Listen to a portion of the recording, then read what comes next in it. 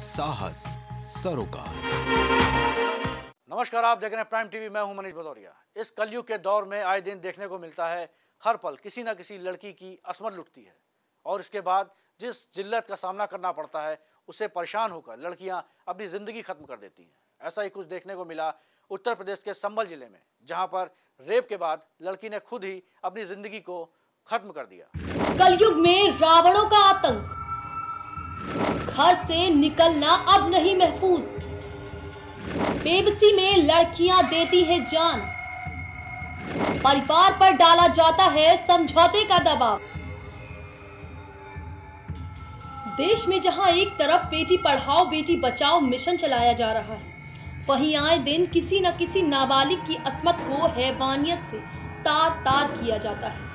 वहीं बता दें कि गैंग रेप की शिकार एक नाबालिग ने आरोपियों पर कोई कार्रवाई न होने की वजह से फांसी लगाकर आत्महत्या कर ली उन्होंने मतलब हमारी बहन को कल मारा था।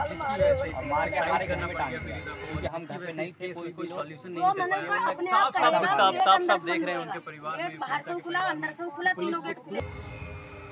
घर वालों ने आरोप लगाया कि पुलिस चारों आरोपियों के साथ समझौता करने का दबाव बना रही थी। सर मेरे बेटी के साथ बहुत गलत हुआ है। न्याय ना मिले हमें अन्याय है हमारी लड़की की संग। किसी ने सुना नहीं। थाने में हमने रिपोर्ट लिखवाई तो उसमें हमें सुनाई ना करे। सर हमारी लड़की की संग बलात्कार हुआ छेड़छाड़। पंद्रह पंद्रह तारीख पे हमने तारीफ़ लिखवाई। हाँ मुकदमा लिखा। कोई गिरफ़्तार नहीं हुआ। अच्छा। कोई मुस्लिम गिरफ्तारी नहीं है अब तक पे। पीड़िता ने सीओ से लेकर डीआईजी तक गुहार लगाई लेकिन पुलिस के कानों में जू तक नहीं रेंगी। वहीं इस मामले में चारों आरोपियों के खिलाफ मुकदमा तक दर्ज नहीं किया गया। और किसी तरह जब मुकदमा दर्ज किया गया तो आरोपियों को गिरफ़्तार नहीं किया गया। आपको कि जिस दिन इनके द्वारा तहरीर दी गई थी पंद्रह जुलाई को उसी दिन थाने पर एफआईआर पंजीकृत की जो उसमें लीगल प्रोसेस होता है एक का बयान होता है वो कराया गया। जिसमें जो ओरिजिनल एफआईआर थी, उसमें एक व्यक्ति का नाम इन्होंने बताया था। उसके नाम पे एफआईआर हुई थी। उसके बाद में एक सौ चौंसठ का जो कोर्ट बयान होता है, उसमें इन्होंने तीन और लोगों के नाम बताए। उन लोगों की जाँच करके उनका नाम इसमें शामिल किया गया। उसके बाद में उनकी गिरफ्तारी अभी तक नहीं हुई थी, ये बात सही है। और जो लड़की है, इसके द्वारा आगे भी एप्लीकेशन दिए गए थे। तो उसमें प्रयास किया जा रहा था और अभी इसमें चारों लोग जो हैं, जो अभियुक्त हैं क्या इसी तरह से लड़कियों को डर डर कर जीना पड़ेगा? या फिर कभी इस डर से निजात भी मिल पाएगा? मामला संभल के कुड़ फतेहगढ़ थाना इलाके के गाँव अटवा का है, जहाँ 15 जुलाई को एक 15 साल की नाबालिग के साथ गाँव के ही चार युवकों ने गैंग रेप की वारदात को अंजाम दिया। था जानकारी के मुताबिक, इसी दिन पीड़िता ने मुख्य आरोपी बीरेश के खिलाफ मामला दर्ज कराने गई थी। पुलिस ने मुकदमा तो दर्ज कर लिया, पर कोई ठोस कदम नहीं उठाए। परिजनों का कहना है कि पुलिस गैंगरेप के आरोपियों को बचाने की कोशिश कर रही है। इस मामले में आरोपियों की गिरफ्तारी नहीं होने पर परिजन सीओ से लेकर डीआईजी तक अपनी बात लेकर पहुँचे। फिर भी गिरफ्तारी नहीं हुई। इसके साथ ही परिजनों का कहना है कि पुलिस के इस रवैये से क्षुब्ध होकर पीड़िता ने आत्महत्या कर ली।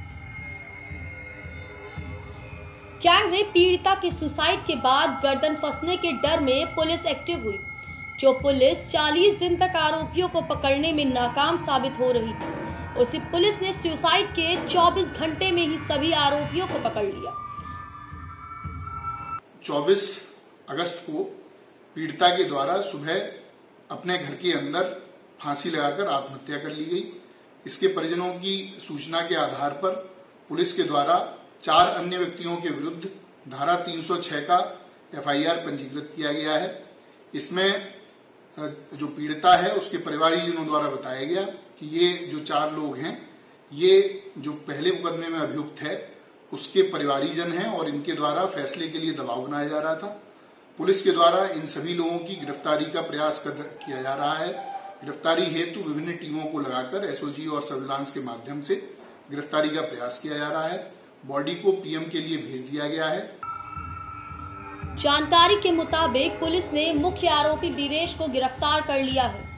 पुलिस अधीक्षक चक्रेश मिश्रा ने बताया, इस मामले में पुलिस ने सुवेंद्र नामक युवक के खिलाफ पॉक्सो और अन्य कई धाराओं के तहत मुकदमा दर्ज कर लिया है।